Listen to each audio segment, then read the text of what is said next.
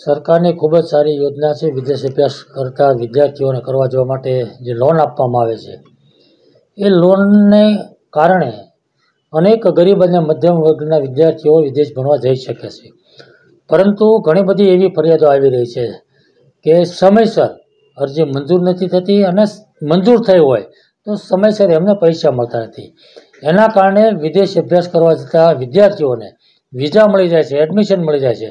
પણ સરકારની લોનના પૈસા નહીં આવવાને કારણે ખૂબ જ મોટી મુશ્કેલી ઊભી થાય છે. એટલા માટે મુખ્યમંત્રીશ્રીને મેં પત્ર લખ્યો છે કે આ લોન તાત્કાલિક મંજૂર થવી જોઈએ અને તાત્કાલિક એમને પૈસા મળવા જોઈએ, જેને કારણે મુશ્કેલીઓનો સામનો વિદ્યાર્થીઓને ન કરવો પડે અને એને બીજી વ્યવસ્થા ઊભી ના કરવી પડે.